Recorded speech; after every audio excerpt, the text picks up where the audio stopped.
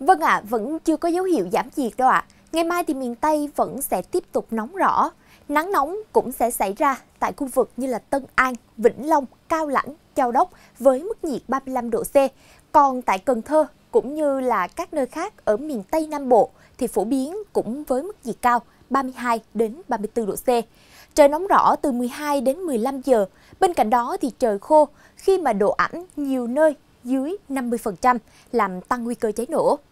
Những tháng mùa khô như thế này thì nguy cơ mất an toàn lưới điện cao hơn, không chỉ là tiềm ẩn nguy cơ sự cố do quá tải điện, hệ thống lưới điện còn tiềm ẩn nhiều rủi ro khác đến từ các hoạt động sản xuất và vui chơi của chính người dân như là thả diều, phát quang hay là đốt cỏ đốt rác.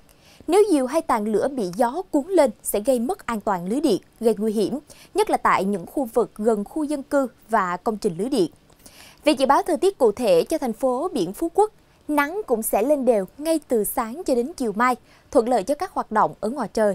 Tuy nhiên thì trời nóng, nhiệt độ cao nhất trong ngày là 32 độ C.